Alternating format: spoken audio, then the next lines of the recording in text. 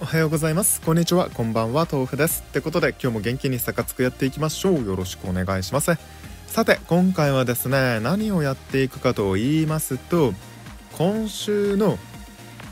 こちらツアイベの内容を見ていきたいと思います。まあ、ツアイベの内容と言いましても今回ね主に2つ。新監督ボクツ監督とあとは新アクセサリーですね。この2つについての話と新アクセを受けてですねどこを周回したらいいのっていう話をしていきたいと思いますのでぜひぜひ最後までお付き合いください。ってことで早速やっていきましょう。さあまずボクツ監督なんですけれどもこちらですね。欧州選抜のガンガー戦ということで3433センターフォワードに両翼はミッドフィルダーしか入れることができない監督になってます。うーんちょっとね初見というかね、まあ、軽く使ってみた印象としては若干微妙かなと思います。すいませんいきなり D3 から入っちゃって。まずですね必要なプレスター、えー、センターフォワードポストプレイヤーレフトミッドフィルダーカットインセントラルディフェンスミッドフィルダーにピボーテセンターバックディフェンスリーダースイーパーということで、まあ、パッと見た段階でですねま、なかなかね持ってないプレスター多いんじゃないかなと思います。無課金の方特にね。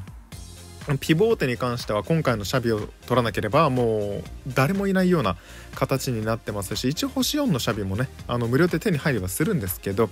で左のカットインに関しても、えっと、トルガン・アザールかな？あとはライアン・ギグスだとかそういう選手になってきますしセンターフォワードポストプレイヤーもケインだとかあとはえっ、とパトリック・クライファートだとかあとベンゼマも確かそうかな？でスイーパーに関してもなかなかいないですよね。まあアラバだとかそういう話になってきますのでちょっとねここの部分がね無課金に優しくないプレスタ構成かななんて思っちゃいます。まあピボーテもねどうなのっていうところもありますしね。でコンボ効果としては、えシュートの上昇はありませんね、まあ、星5監督でシュート上昇出たら、まあ、絶対それが最強になっちゃうので、まあ、それはそれでいいのかなとは思いますが、え、パス取りタックルマークスピードの5つが強化。攻守ねそれぞれに2つずつとフィジカル1つということですごくバランスの取れたフォーメーションコンボになっております。でこれね343でセントラルディフェンスミッドフィルダー2枚にセンターバック3枚ということで比較的ね攻撃的な前がかりなフォーメーションコンボ使ってみた印象としては3センターフォワードがちょっと窮屈そうかなと思いましたね。うん。ちょっとね窮屈そうだったな。なんかやっぱりこのせこの3枚がねレフトウィングセンターフォワードライトウィングとかだったらいいんですけど、えー、とそういうことではないし差がつくってセカンドトップとセンターフォワードの区別もないじゃないですか。ちょっとねそこら辺がね汎用性がなくなる攻撃が単調になっちゃってるかなとは思いました。はい、まあ、ただ星5監督なので全然弱くはないんですがで監督アビリティは戦術指導レベル3回。これ普通のやつですね。で消耗戦指導があるおかげでですねちょっとスタミナダウン効果が上昇しています。でディフェンス強化指導、えー、回ということで、えー、ローマの監督と同じようにですねがっちり守ることが可能です、まあ、3センターバックにねえっ、ー、とセントラルディフェンスミッドフィルダー2枚しか守備する人がいないので、まあ、サイドバックがいないから横からの攻撃にもねセンターバック横に配置できるとはいえサイドバックいない分やはり弱くなりますし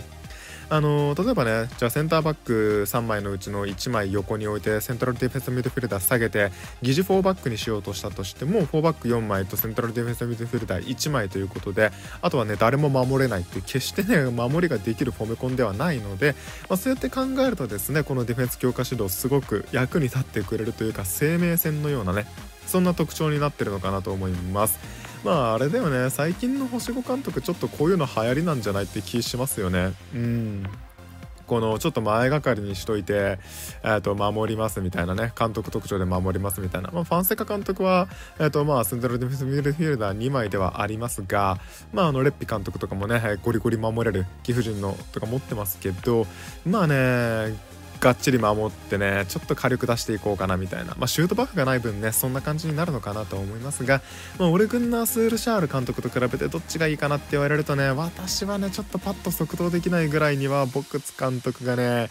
ぶっ壊れではないかなと思いました。まあねぶっ壊れではないことは全然いいことなんですがなんでねそんなにね必死にならなくてもいい気はする。ピボーで取らなきゃとかね。うん。まあ、モドリッチぐらいは取っておくといいのかなとか思いますけど取っておくといいかなとか取れたらいいなと思いますけどまあそんなもんですね。で一応ですねこちら無料でねいけるガチャで星4選手5人いてこれがね全員プレスタカバーしてくれているので初心者でね始めたばかりの方も全然ねあの安心して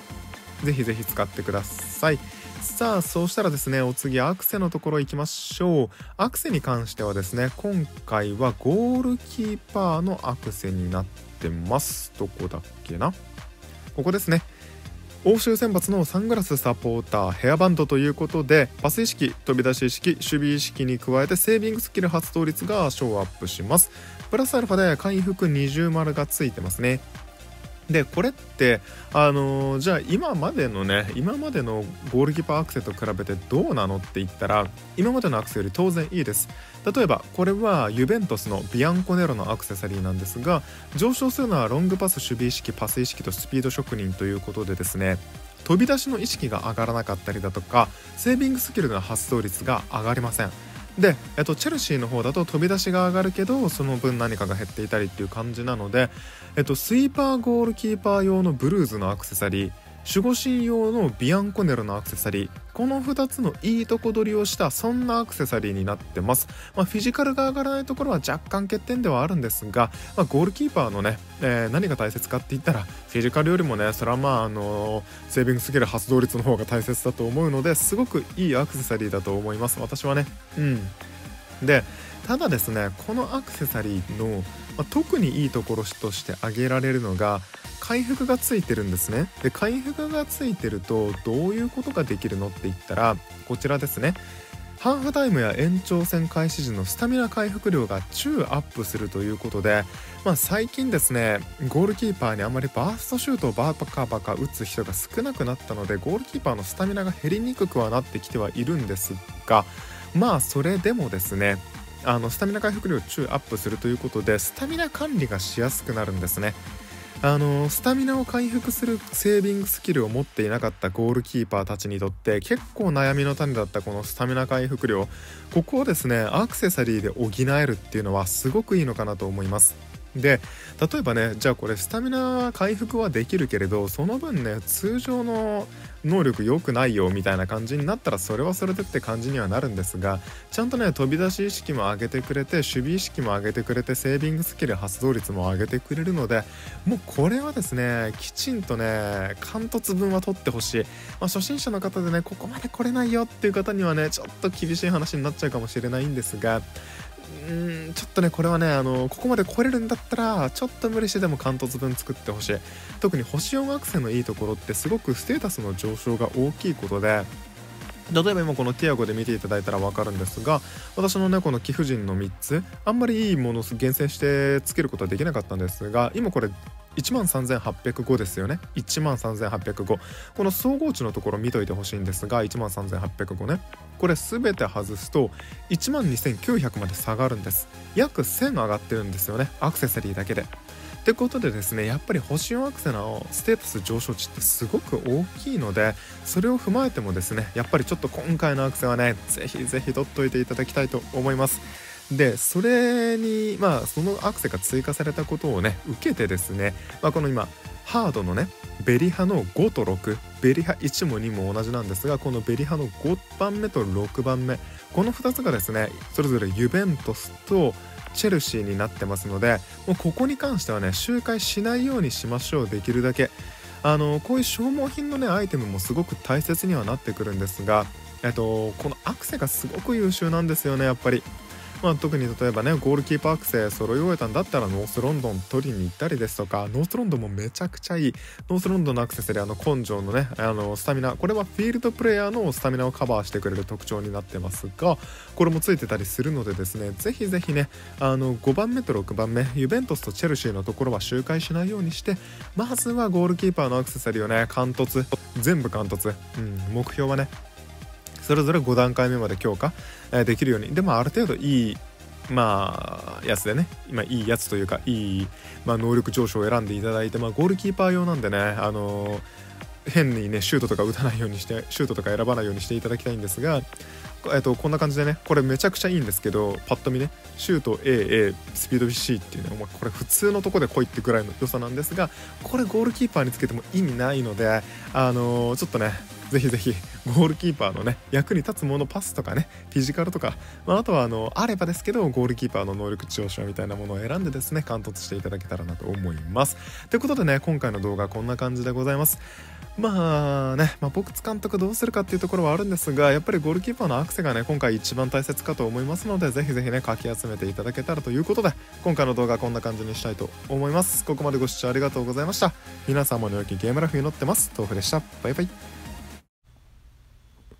ここまでご視聴ありがとうございましたチャンネル登録を済みでない方はグッドボタンを押してないよって方はねぜひぜひやっていただけると私の励みになりますのでお願いいたしますもしよろしかったら次の動画もね、見てってください。それでは皆様の良きゲームライフを祈っております。豆腐でした。バイバイ。